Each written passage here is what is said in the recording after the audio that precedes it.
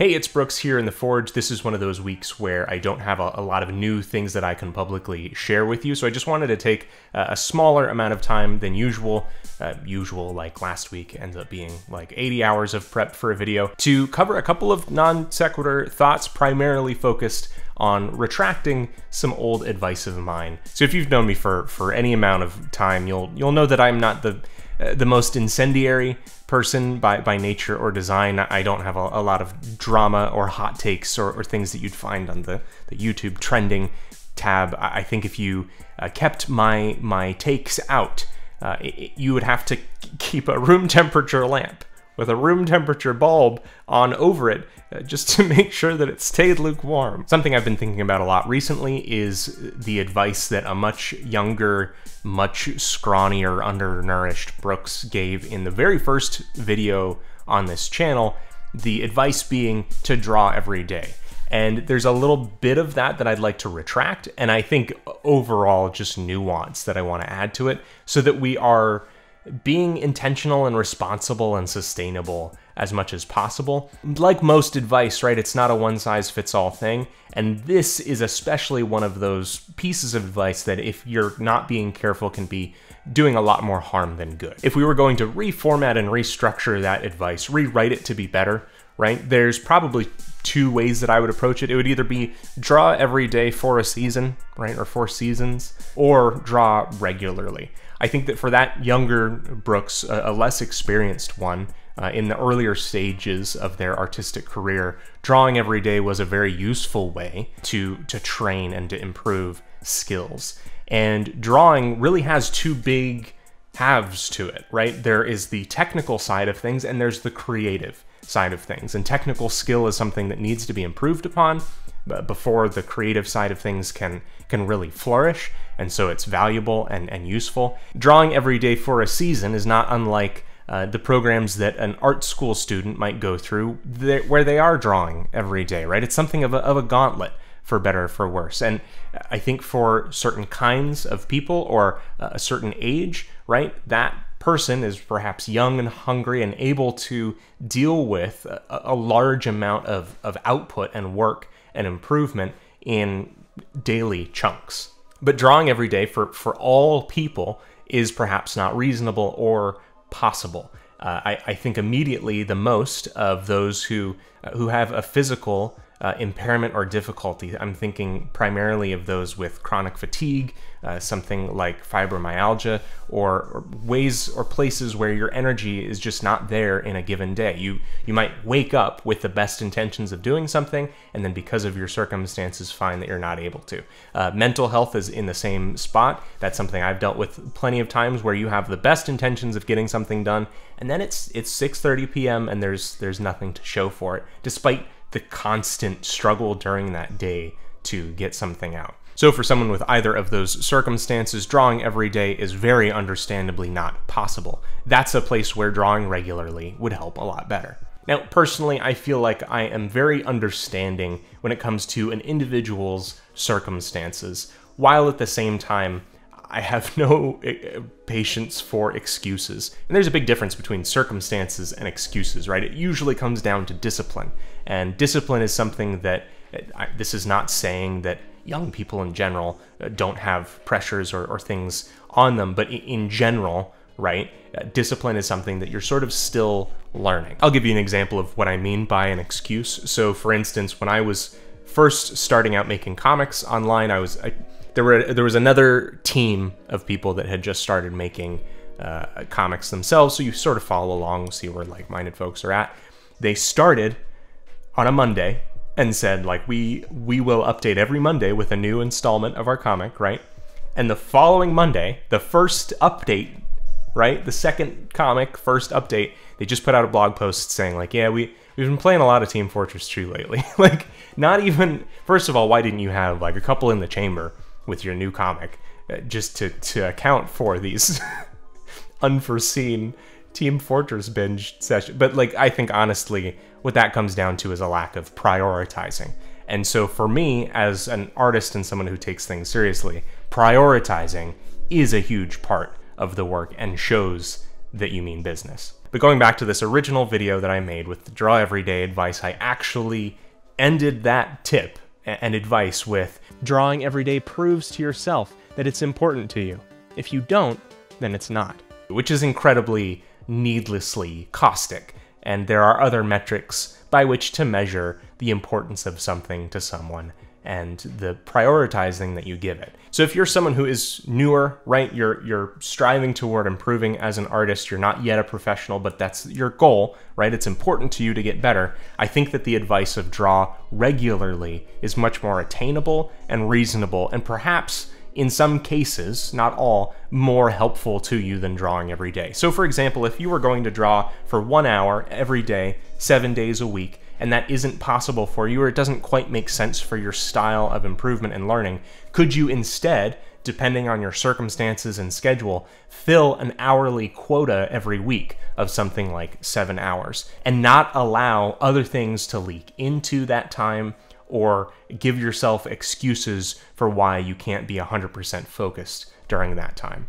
I know that for the younger me that that gradually became this this person, I know that getting up a couple hours earlier before other work or other responsibilities in a day and and spending that time on art was very helpful for learning. And that was the everyday that helped. And I would give that advice if that seems like it works for you. But I don't think that it works for everyone, and I think a question of quantity versus quality does come up at that point. If qualifying as drawing every day means that you briefly scribbled with a pencil on a page. Does does that actually improve in any in any meaningful way? No. So quality supersedes quantity.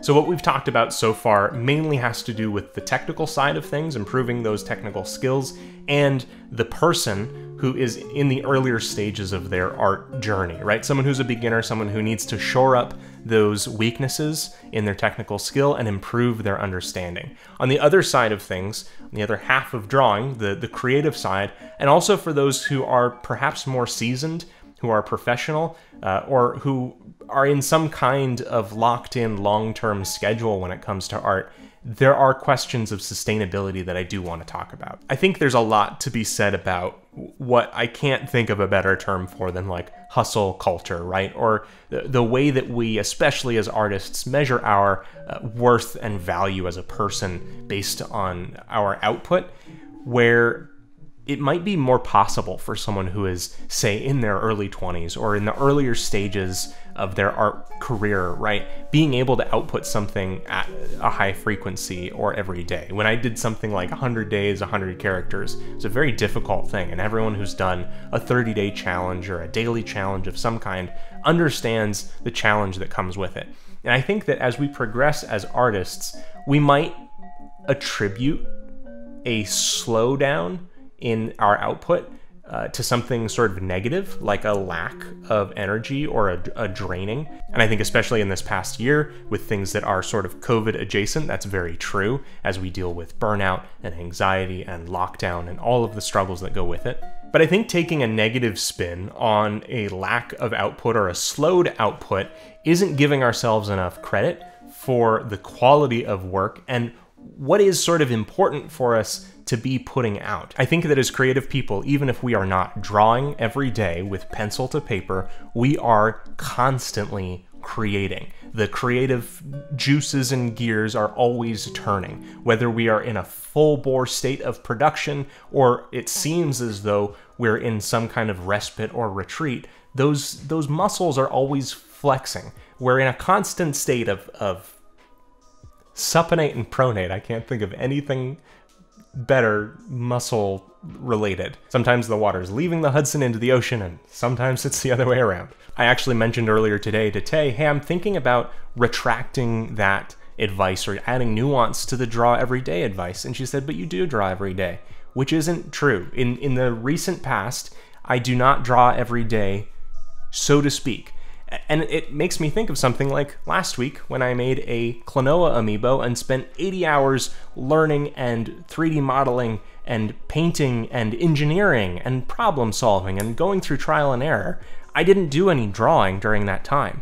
Am I a worse off artist or creative person because I didn't do drawing during that time?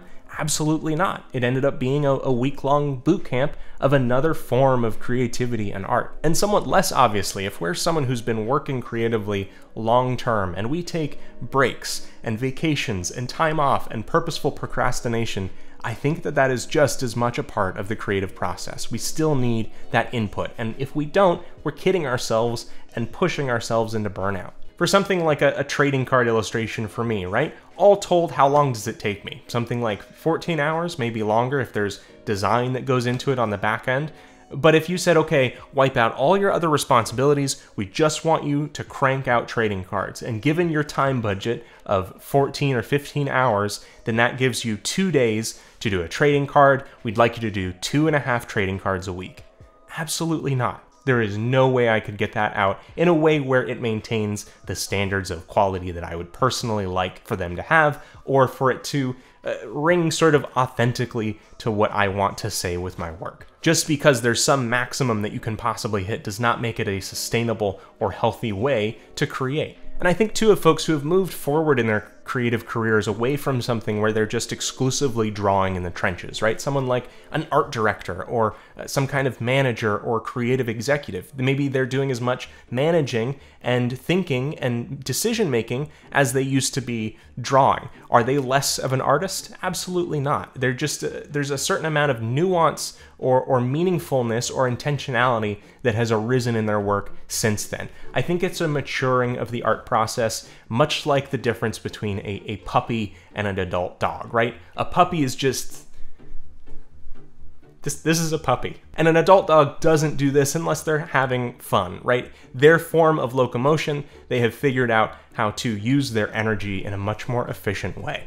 A lot of other artists and character designers that I know talk about spending just as much time thinking and pondering and taking in reference and resting and doing other things as they do drawing because it influences and fuels that work just as much as the technical side of things. So asking me now, do I think you should draw every day? I think that if you're on the newer side of things, it's a very helpful way to improve your technical skills fast. If you can't draw every day, or it's not reasonable for you, drawing regularly is a very helpful way to accomplish just the same thing. And if you're seasoned, matured, been doing this for a while, taking breaks and time away from your artwork is okay, as long as you're okay with the fact that your first day back will feel like you've never drawn before.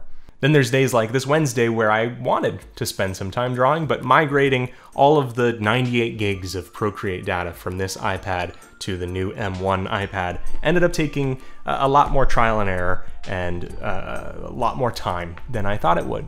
So Am I less of an artist for not drawing Wednesday? Absolutely.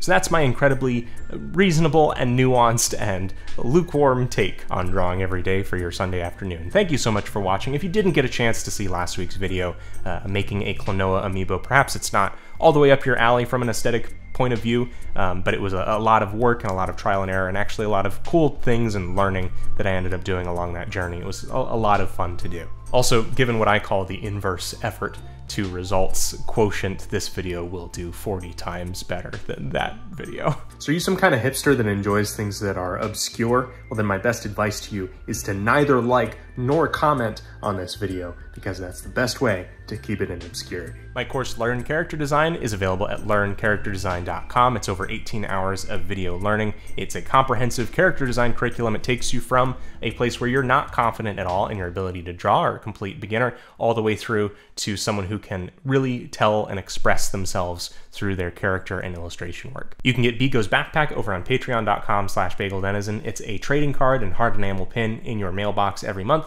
This month is Zonette and Quilver. You can follow me at Bagel Denizen on Instagram, Twitter, Twitch, and TikTok. Thank you so much for watching and have fun creating.